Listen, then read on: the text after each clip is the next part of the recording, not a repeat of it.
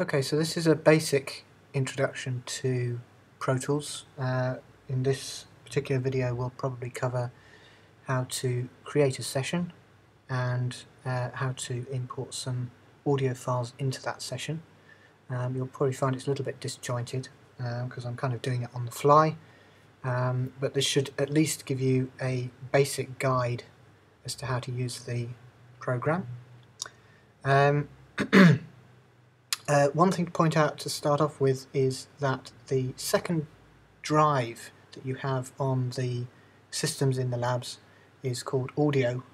And the first one obviously is system. System has all your system uh, program files and so on on it.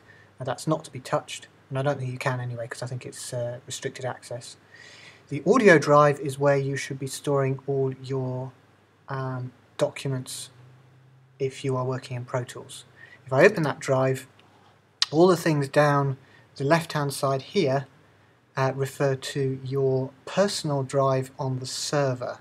And that's not the same okay? So audio drive is always local so it's going to be stored on the computer that you're sitting in front of. Um, the places refers to your um, uh, your your place on the server uh, which is stored remotely. Um, Pro Tools won't like anything uh, or won't open any files that you try and store on that drive. There's That's not to say you shouldn't back your stuff up to there when you've finished working on it so that when you come to work on a different machine, say, you can't drag it off again and put it somewhere else. Um, but you would always have to put it onto the audio drive of the machine that you happen to be working on at any particular time. I hope that's that makes sense. Um, so that's just to point that out.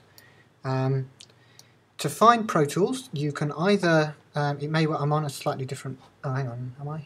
No, I'm not. Um, on the uh, dock of your, of the machine that you're working on, uh, Pro Tools comes up as the circle with the squiggle in it. Um, click on that, as with all programs with Mac, and it will open.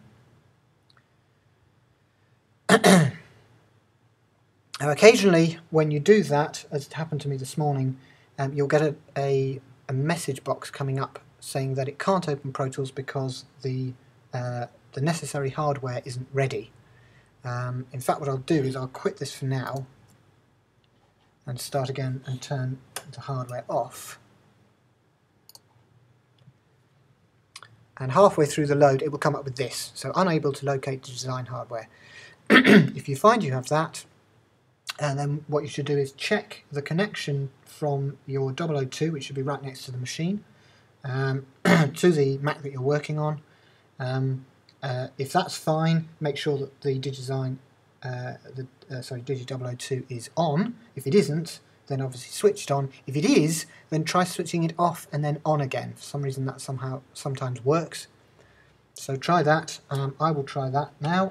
Switch it on um, and then click OK when you're done. Uh, it might take a little while and then once you've finished it will, it will continue to load.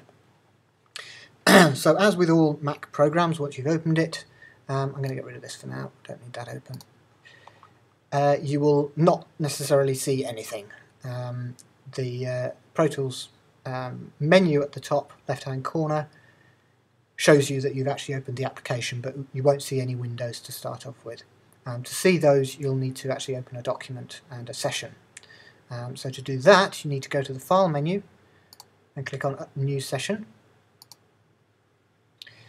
and it asks you to name the session and obviously put it somewhere. So if you remember what I just said, you'll need to put that in the audio drive. So put that there. Um, what I suggest is that you make a new folder with your name on it um, so that all the necessary documents, because it will store not only the session file, but it will also store audio files um, within that place. Now if you have it just in the audio drive then it, it'll go all over the place, you won't be able to find it. So make your own folder, new folder, um, I'll call mine Peter Batchelor. Um, I might even put the date on actually. You'll notice I'm doing this in mid-September. So um, create that um, and then, obviously, name your session, so we'll call that uh, first session. Now, what I tend to do, um, or I tend to recommend, um, it's entirely up to you, of course, but if sometimes if you uh, for some reason things might get stored in the right place, uh, or you might lose files or whatever.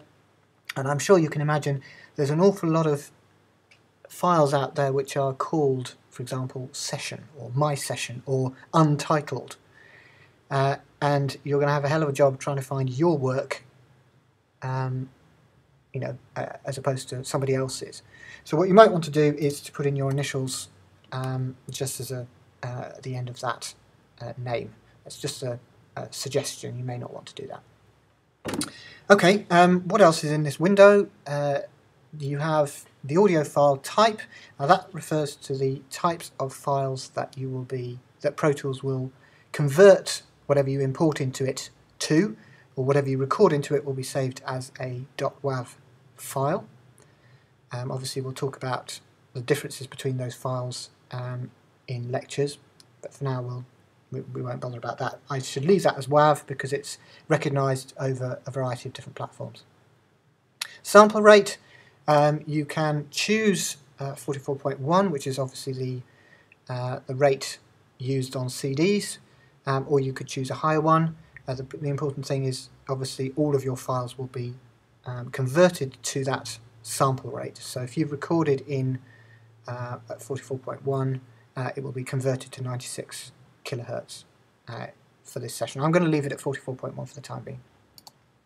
Bit depth, you can do either. What I would recommend is for the purposes of your mixing, you mix at least in 24-bit.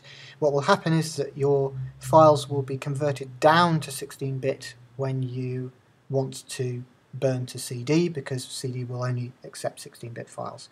For now though, as I say, um, for your session I should leave it at 24-bit. Um, I.O. settings you should be able to leave. Okay, so save that and it comes up with your main uh, window. There's actually two windows for um, Pro Tools. There's the uh, there's the editing window, which is this one, um, and then there is a mixer window, uh, which we will look at in a minute. Actually, I can open it now, uh, but you won't see very much because we don't have any tracks yet. Okay. Now you can you can obviously toggle between those by clicking the menu bars and you will move between them like that. You can also do it from this window. So I can go between the edit window and the mix window. Uh, I don't know what's happened to my mouse. and or you can press command and equals and that will also toggle between and that actually gets more useful if you have your edit window for example filling the entire screen and you want to switch between them. That's a quick a quick key that's quite useful to know. So, um, editing, or sorry, making some tracks, uh, you will um, be able to do that by going to the track menu up here and selecting new. And it comes up with a dialog box which obviously gives you various options for that.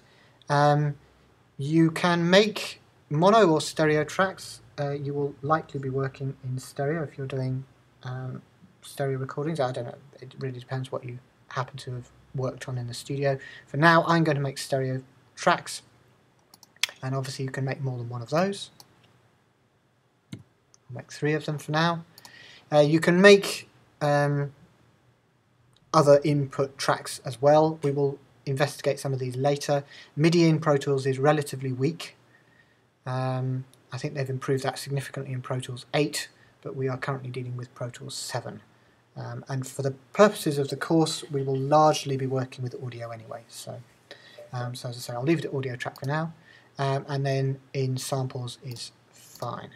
So create, and there are your tracks. So they appear both in the editing window here um, and in the mixer window. And this format is fairly generic for most um, for most sequencing packages, um, you will have audio files in this, sorry, audio tracks in this kind of horizontal configuration for um, for the main editing window, and then you will obviously have a, a virtual mixing environment in the mix window.